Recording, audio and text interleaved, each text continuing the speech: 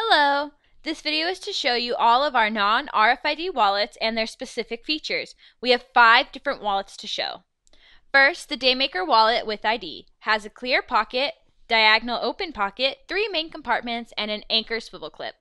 Next, the Daymaker wallet with ID in grande size has a clear ID pocket, diagonal open pocket, velcro pocket, three main compartments, and an anchor swivel clip. Now, the Daymaker non-slip wallet with diagonal zip pocket has a coin zip pouch, non-slip grip, diagonal open pocket, three main compartments, and an anchor swivel clip. Next, the Daymaker wallet with diagonal zip pocket has a coin zip pouch, diagonal open pocket, three main compartments, and an anchor swivel clip. Last, the Wallet Junior has a coin zip pouch, diagonal open pocket, and a main compartment. The diagonal zip pocket is great for small items like change, keys, etc.